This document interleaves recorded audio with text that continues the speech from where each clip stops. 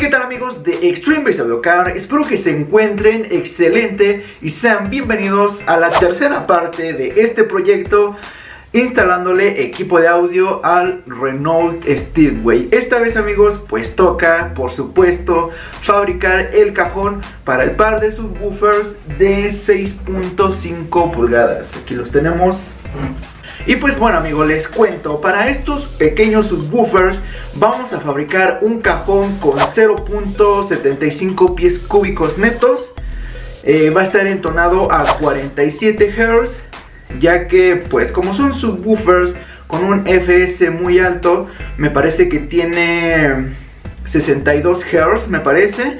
Y pues el fabricante recomienda hacer el cajón a lo que son 50 Hz, pero pues lo vamos a bajar un poco más, por eso lo voy a poner a 47 Hz y pues no le podemos exigir tantas frecuencias bajas a estos pequeñines por el tamaño, su excursión, etcétera, varios factores que influyen en eso. Tal vez sí podemos obtener frecuencias algo bajas, pero pienso que no las vamos a obtener con mucho rendimiento y pues puede que se escuche algo pues despacio.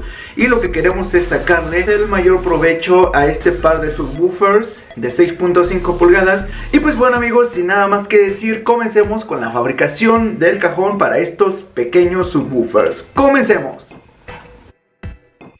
Comencemos a medir para poder sacar cada uno de los cortes que vamos a necesitar para este pequeño cajón acústico. Y para fabricarlo voy a utilizar MDF con un grosor de 18 milímetros que por cierto es el que más utilizo en la mayoría de los cajones acústicos que he fabricado.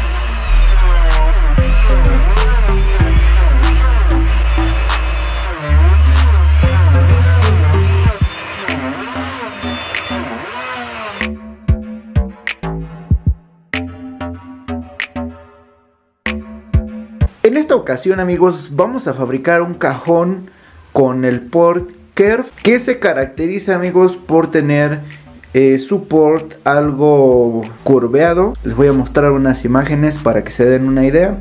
Y de hecho esta es la primera vez que voy a fabricar un cajón de esos amigos.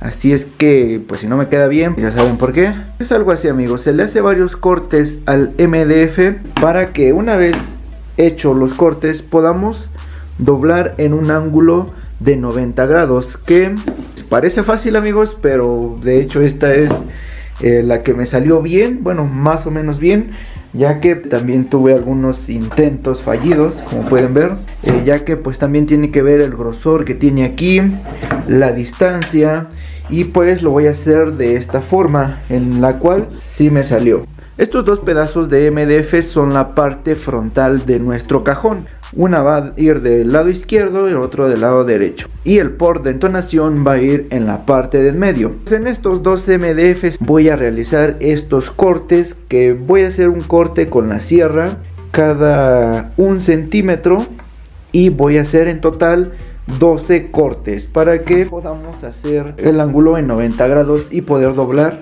el MDF. Como pueden ver pues así queda una curvatura mucho más grande que la que nos pudiera dar cualquier fresa y pues le da una apariencia a mi punto de vista muy estética.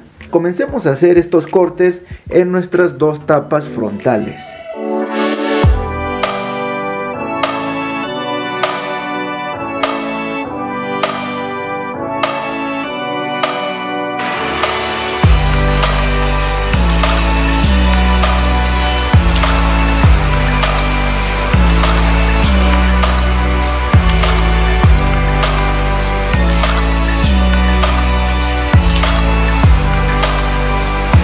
24 cortes más tarde.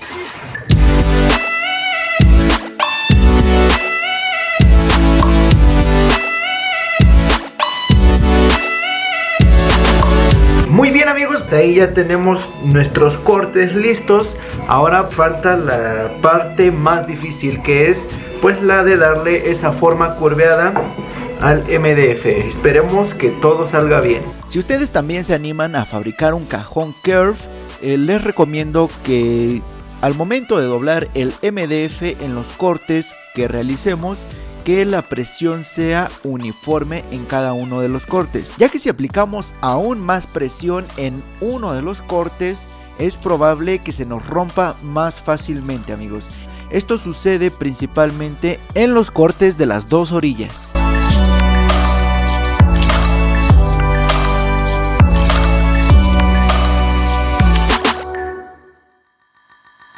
Y como se podrán dar cuenta amigos, ahí ya poco a poco va tomando forma. Y pues esto es solamente mientras se amolda el MDF, por así decirlo.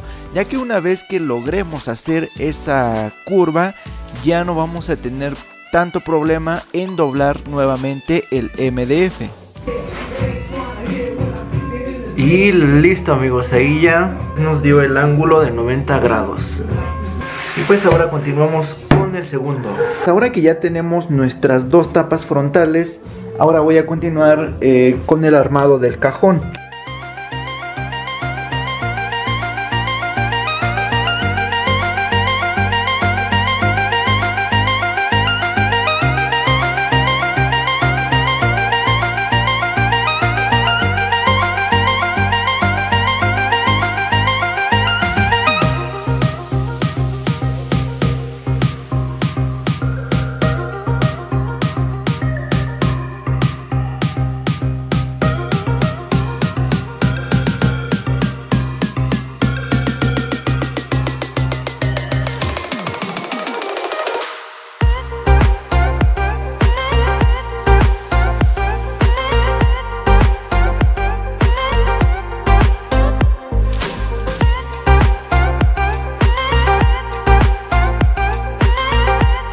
Listo amigos, ahora voy a realizar cortes en 45 grados ya que como sabrán la parte donde realizamos esos cortes para lograr nuestro port curve se ha debilitado y con los cortes en 45 grados vamos a reforzar esa parte ya que si no tendríamos un cajón muy débil.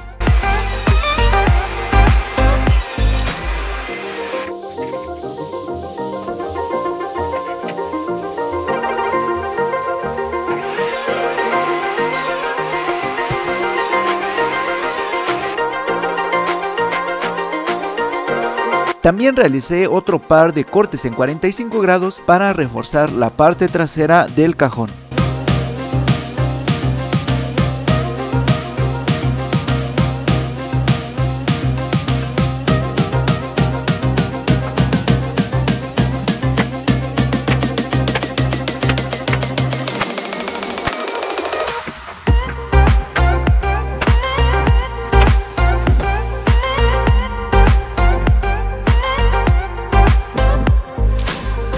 Ahora voy a realizar un corte de poca profundidad a las tapas frontales para que al momento de forrar nos quede un mejor acabado ya que ese corte nos va a servir de guía al momento de cortar el fieltro acústico. Y para los cortes que conforman la parte interna de nuestro port los voy a redondear con la fresa de boleado. Y una vez listo los voy a fijar a lo que viene siendo nuestra tapa frontal donde realizamos nuestro port curve ya que pues es la continuación de nuestro port de entonación.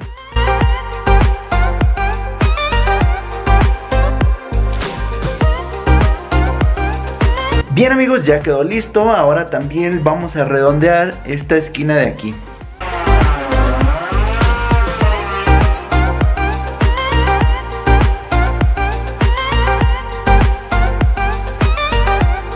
Y para reforzar aún más el área donde realizamos los cortes, voy a realizar una mezcla entre acerrín y resistol, ya que pienso que de esta manera vamos a obtener una estructura muy sólida en esa parte donde debilitamos el MDF debido a esos cortes.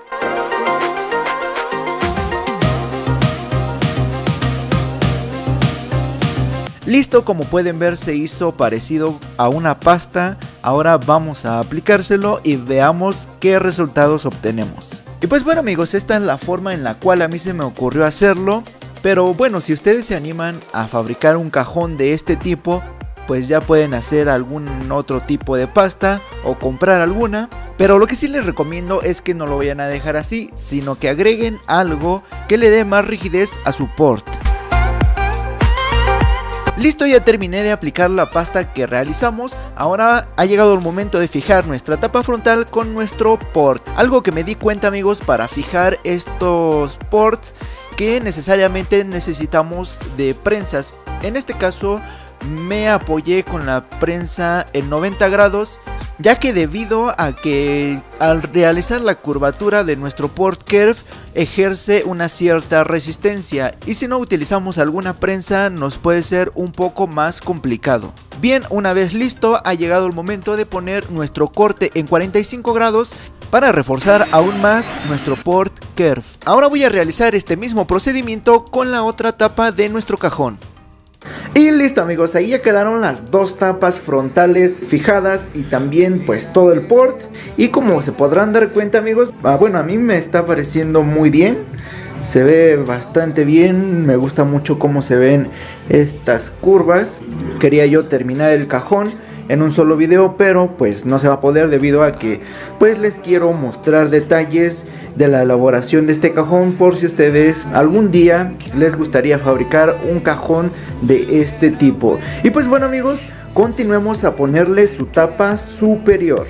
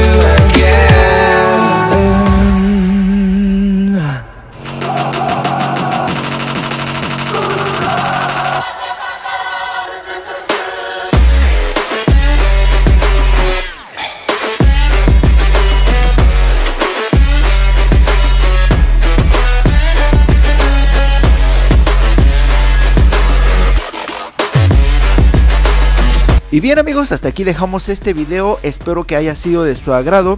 Si así fue, por favor regálenme un like, suscríbete si no estás suscrito y quieres ver más videos de Car Audio y no se pierdan nuestro próximo video donde vamos a continuar con la fabricación de este cajón. Muchísimas gracias por ver, un saludo a todos y nos vemos en el próximo video con más Audio Car. Adiós. Endless celebrations all in my house. Levitating now, I'm super duper fly now. London boy, but DC where I reside now. Put the time in while you always yelling time out. If I quit it, cause I know I'm coming with it. You were sitting, you were wishing I was handling my